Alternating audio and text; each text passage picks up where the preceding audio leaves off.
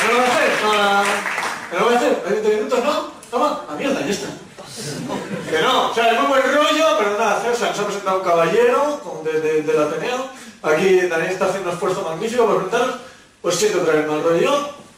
No voy, no pienso hacer la charla. No, joder, porque es que yo llevo aquí, llevo, aquí eh, pensando que esto es una institución seria, una ciudad seria, coño, o sea, Santander, la Alemania del Cantábrico. Yo, con permiso de Bilbao. Es, una, institución seria, coño, y llego aquí y veo en unas charlas de matemática parejitas. Un tío que viene una y viene con, la- con- con su novia ahí, se han estado morreando, se han dado la mano. A asco. Asco, en general, asco. O sea, las parejitas me fastidian. Ahí hay unos niños, estaréis conmigo. Las parejitas son una mierda, o sea, las parejitas, no, no. ¿Por qué? Estoy en contra del concepto de pareja. No digo, o sea, no, no- no digo cualquier pareja, o sea, no, no- digo de chicos y chicas, chicas y chicas, chicos y chicos, el, el Pepe y Box, o sea, no, cualquier pareja. Me da igual el concepto de pareja. Concepto de pareja Mm, Había físico, hay, hay ingenieros aquí, me han dicho también. Vamos a ver cómo le explicamos lo que es una pareja. Eh, o sea, lo que es vivir en pareja. Eh, a ver, ingenieros. Vivir en pareja es cuando, cuando compartes el hábitat con otra persona más o menos de tu misma especie, tienes conversaciones, cópulas ocasionales. eh, vivir con tu madre no cuenta como pareja. Y si tenéis cópulas ocasionales es mejor que lo que halléis que hayáis hecho pico. Entonces, bueno, pero bueno, más o menos es una pareja. Eh, y hay informáticos también, que he visto algunos. A esto como lo he explicado, mira, ahorita da igual, queremos 10 minutos. No, no lo vamos a explicar. Bueno, es el concepto de danza. ¿Por qué? Vamos a ver, la- las ciencias se basan en la matemática. La matemática se basa en la lógica y la vida de pareja no tiene lógica. O sea, pero no tiene, no tiene lógica. Y esto, el matemático lo han dicho, lo vamos a ver. La vida de pareja no tiene lógica. Hay dos situaciones en las que podemos ver que la vida en pareja... ¿Está sonando la radio? En que la vida en pareja no tiene lógica. Una es cuando la lógica explica lo que está pasando en la pareja, pero no lo puedes usar. Y la otra es cuando la lógica ni siquiera explica lo que está pasando en la pareja, no es capaz de explicar. Os voy a poner un ejemplo de cada, que lo veo con ansia viva. El primero es cuando la lógica puede explicar, explica de hecho lo que está pasando en la pareja, pero no lo puedes usar. Yo lo llamo el caso del gimnasio y la falacia del consecuente. Falacia no es una cosa de chupar, es una cosa de lógica. Es un chiste malo de letras que, lo- que veo que me han pillado. Etimológico.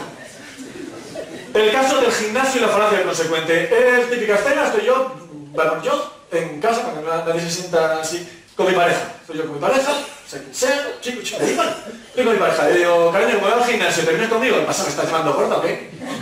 Eh, que yo le he dicho eso, ¿eh? ¿Me estás llamando mentirosa? ¿Qué? ¡Epa!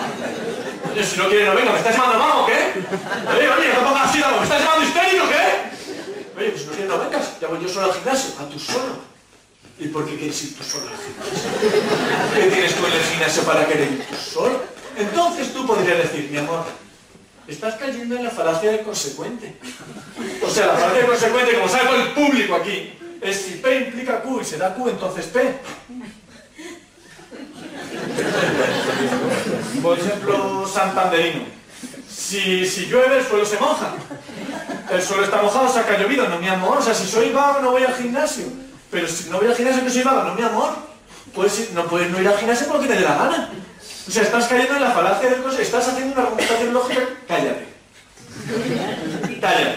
O sea, si aprecias tu vida, no digo tu vida en pareja, digo tu vida, cállate. cállate. Es verdad lo que está diciendo. Es una argumentación mala y lo podéis ver en mil discursos. En discursos políticos, en discursos publicitarios. Veréis mil veces la falacia del consecuente.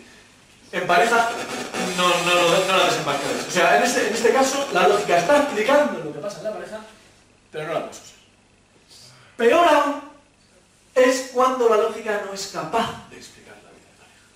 Y esto voy a poner, yo le llamo el caso de la lógica difusa y el oso hormiguero.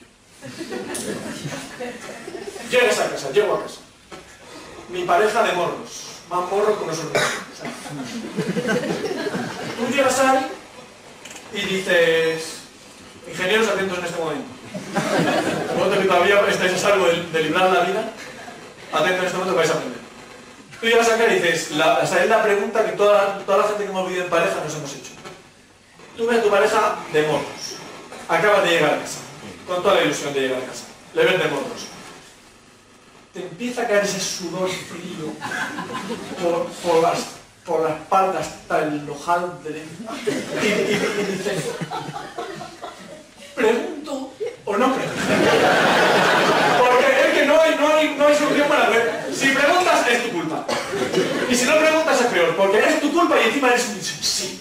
Por no preguntar. Total, que tú vas al tope con la relación y dices, y dices, pues pregunta. Karim, ¿estás bien? ¡Sí! Ahí lo tienes, método científico, ¿no? Tú has hecho una pregunta clara, no una pregunta aclarada. Una, has hecho una pregunta clara y has obtenido una respuesta clara. Tu pareja está bien. ¿Te lo ha dicho ella? ¿O él? Tu pareja está bien. Pero tu sentido arácnido, que tú no tienes sentido arácnido, por más que hayas visto todas las despides hasta la mala, tú no tienes sentido, tu sentido arácnido te dice, no está bien. Hay algo que... Y entonces, dices, pregunto otra vez o no. Ingeniero, la respuesta es no. Ya has. Y ya la respuesta es no. En este caso la, pregunta, la respuesta es no. Pero tú vas a tope con la relación y dices, pregunto, pero, pero te pasa algo, te pasa algo, mi amor. ¡No! ¡Sí! ¡No sé! ¡Sí! ¡No! Sí y no. A la mierda la lógica aristotélica, un sábado por la tarde, tu pareja con la batamata de banda, la pantufla de Star Wars y la, la taza esta de la Calesi que tú le regalas esas mierdas porque te piensas que es igual de friki que tú no lo es, no te gusta, solo se la pone con en casa. Pues se acaba de cargar la lógica aristotélica un sábado por la tarde. O sea, la lógica aristotélica en las matemáticas tiene tres principios fundamentales. El primer principio es el principio de no contradicción. No puede ser sí y no a la vez. La vida en pareja lo contradice. El segundo principio es el principio de identidad. Sí es sí, no es no. Cariño, voy a echar unos vinos con los amigos. ¿Te parece bien? ¿Lo sabrás? Eso es un sí. Eso es un no. Total, que el principio de identidad también lo contradice la vida de pareja. Y el tercero es el principio del tercero excluso, el tercero excluso. Que el principio para la vida de pareja bien. Decir, sí, ¿no? Tercero excluso. Pero es, o sea, es o sí o no. Hay nada en medio. No hay nada en medio. Sí o no. Cariño, ¿qué tal? Este vestido que he comprado para la boda de tu madre, ¿estoy guapo sí o no?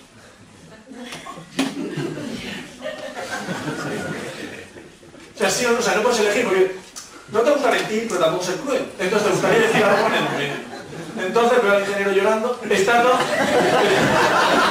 está todo perdido. O sea, la, la, lógica nunca va a poder modelizar la vida en pareja. Está, no está todo porque en 1917, un lógico polaco llamado Jan Lukasiewicz, que tú te llamas Lukasiewicz y te hacen polaco. En serio, caen haciendo la ley, o sea, es, la ley, la ley por la que la puso andar.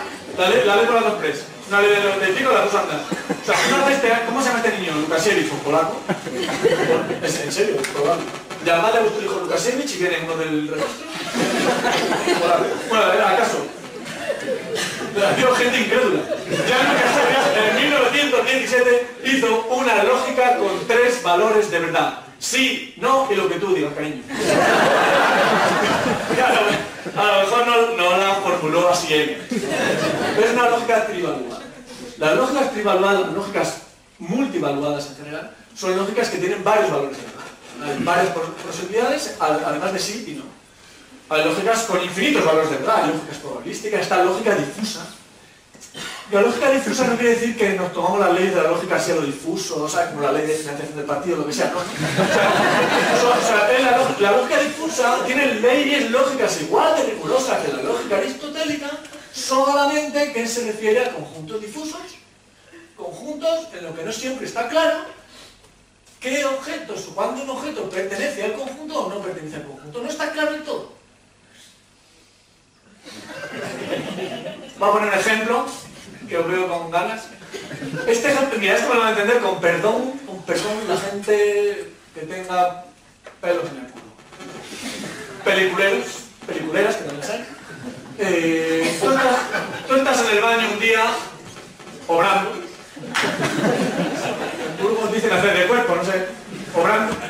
Y no siempre está claro qué pertenece al conjunto de que ya hay y qué pertenece al conjunto de cosas que sigue ahí. Pegado. Y hay que tomar una decisión. A veces drástica, dependiendo del papel que quede. Pues eso es un conjunto difuso.